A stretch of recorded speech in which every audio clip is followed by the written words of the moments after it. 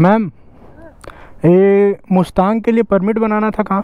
अच्छा यहाँ। इधर से अगर निकलना चाहते हो तो बहुत ही पतला गुफा है। मैं इतना रिस्क ले रहा हूँ अकेले जा रहा हूँ। जा पाऊँगा कि नहीं वो भी कंफर्म नहीं है। सही में? सही में? कब देखे?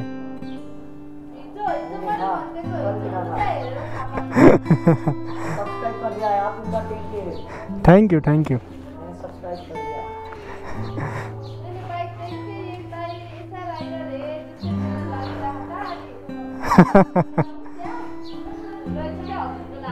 अच्छा यहाँ से? हाँ हाँ। इसका पेपर बनवाने। मुस्तांग जाने के लिए। तो ये हमारा होटल है। सामने से बहुत बड़ा दिखता है, पीछे से भी बड़ा ही है, लेकिन पार्किंग छोटा सा है। जहाँ से मैं अभी गाड़ी निकाला, ये लोकल लोग थे।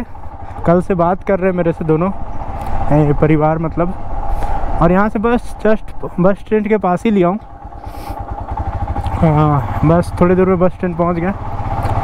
कल बारिश हो रहा था तो मेरे को होटल मिल नहीं रहा था। और इधर पूरा का पूरा होटल ही होटल है। ये देखो तो यहाँ पे बस स्टैंड के पास पता नहीं मैं कैसे कैसे मैप नहीं था तो मैं ऊपर रोड में बस स्टैंड बस स्टैंड, अरे यार, अगर गलती से गियर ज़्यादा था और नहीं चढ़ता तो फिर पोपट हो जाता। तो अब आ गए हम पोखरा के मेन रोड में मतलब मेन हाईवे में। यहाँ से बस दो सौ मीटर अंदर था, ज़्यादा अंदर नहीं था। अच्छी बात थी, अंदर था कि एकदम शांति से सोया हूँ, पूरा खूब नींद लेके, नहीं तो इधर रहता तो हल्ला होते ही रहता। So good morning good morning from Pokhara, सामने में देख सकते हो पहाड़ है। अभी जो बात देखी, वो सब होटल के पास की बातें थी लोकल बातें हुई थोड़ा बहुत। और मैं रेडी हो गया हूँ मस्त जैकेट जीन्स वगैरह पहन के घूमने के लिए। पोखरा को थोड़ा आज एक्सप्लोर करेंगे और इसका पेपर भी बनवाएँगे मुस्तांग के लिए। मुस्तांग जाना है मुझे। और पहले कुछ खाया जाए तो खाने के लिए एक रेस्टोरेंट देखते हैं। वैसे कल मैं देखा था, वहाँ पे ठीक ठाक था रेस्टोरेंट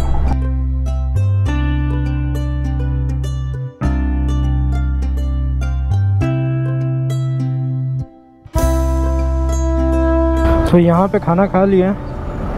और ये होटल से मेरे जस्ट 200 मीटर पे था। और हम लोग को अभी जाना है इमिग्रेशन ऑफ़िस। तो डाल देता हूँ इमिग्रेशन ऑफ़िस, पोखरा सर्च करना।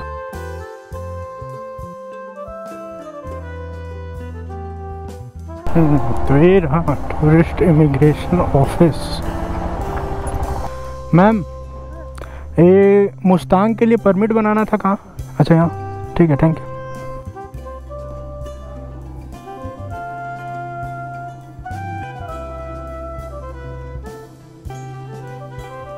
अपना इमिग्रेशन का काम हो गया तो यहाँ पे हुआ है नेपाल टूरिज़्म में। और यहाँ से हम अपनी बाइक को लेके चलते हैं और घूमते हैं थोड़ा बहुत पोखरा। बात बता दो, कितना पैसे लगे? तो अपने को टोटल लगा है बारह सौ रुपये दो सौ रुपये फ़ोटो खिंचाने का और एक हज़ार इमिग्रेशन का, नेपाली का ना, नेपाली बारह सौ। मतलब इंडिया का वही आठ नौ सौ रुपये के आसपास।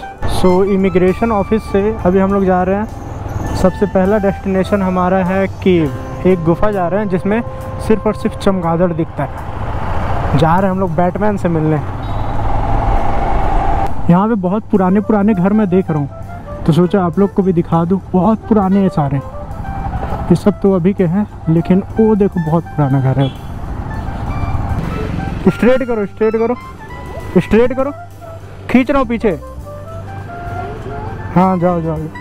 मेरे को भी जल्दी निकलना है। मेरे को दूसरे रास्ता लेना पड़ेगा। पीछे से है जो ये रोड पूरा बंद है। सो so, गूगल के भरोसे चलने पे यही होता है। वाह क्या विलेज है यार।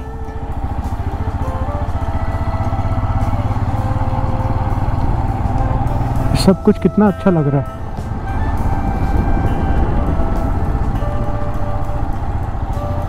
चमगादड़ को देखने के लिए इतना दूर आ गया मैं। Where is bat cave bat cave किधर है? यहाँ से। ठीक है ठीक है thank you bat cave welcome to bat cave अच्छा ये है। क्या बोले? हिंदी नेपाली नहीं आता। It's okay okay. इनको हिंदी नहीं आता मुझे नेपाली नहीं आता। चलो कोई नहीं। अच्छा शायद बोल रही है हेलमेट यहाँ रख दो नहीं? लाइट लेके जा रहे चमगादड़ देखने। अजीब अजीब से शौक है इंसानों के भी ये वाला एग्जिट एरिया है। अभी एंट्री नहीं है यहाँ से। एंट्री वाला एरिया में चलते हैं। भीड़ हो गया अचानक से। सब पूरा का पूरा लोग आ गया अभी तक पूरा खाली था। सो so, गुफा के अंदर आ गए हैं।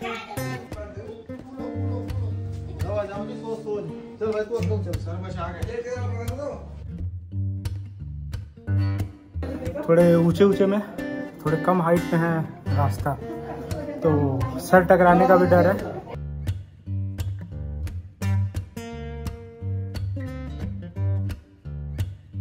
सो सब चले गए।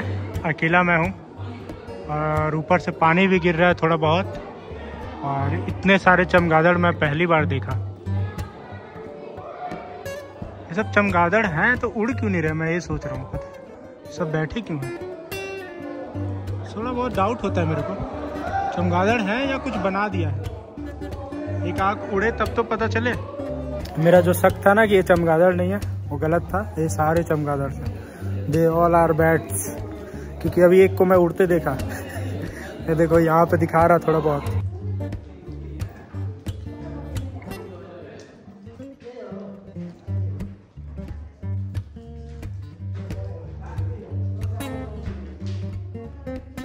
केव के बाहर आ गया लेकिन यहाँ बारिश हो रहा है ए ये?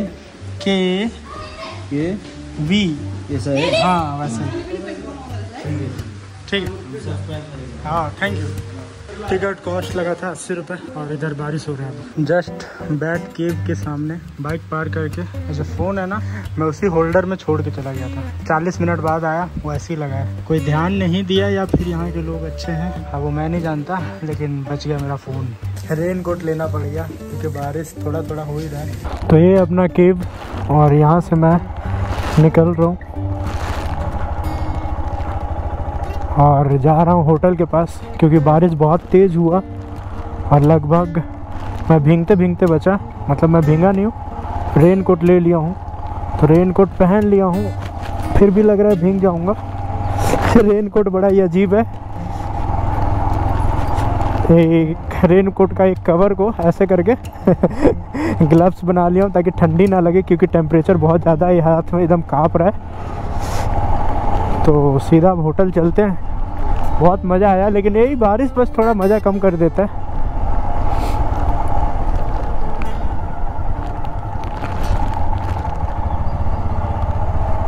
कितना अच्छा लग रहा है यहाँ पे। चलने में, रोड में, चलने में कई मज़ा आ रहा है। ऐसी रोड में बाइक चलाने का शौक पूरा हो गया।